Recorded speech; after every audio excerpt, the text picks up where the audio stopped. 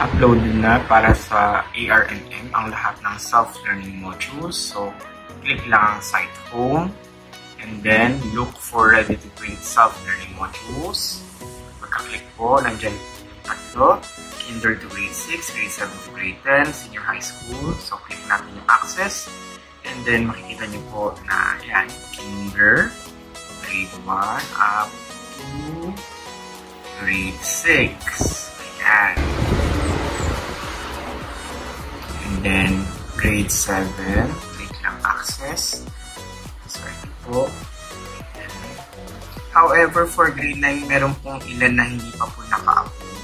Kasi so far, ito pa lang ang available na ibibigay. But the rest is already complete. And then, click natin. Senior high school. Click lang access. Okay, ito po yung mga subjects. Yan. For subjects. At ito lang po yung applied subjects. Okay, click nyo lang po para makita yung modules. So, halimbawa, empowerment technologies. Pang clicking, option ninyo pag i-click lang one at a time or as an entire folder. So, ito po ay i-replicate na po sa iba rin pong mga servers o sa iba po natin mga LMS. So, kung ikaw ay taga-BARM, unang-una kayong pwedeng mag-download. Okay? Salamat!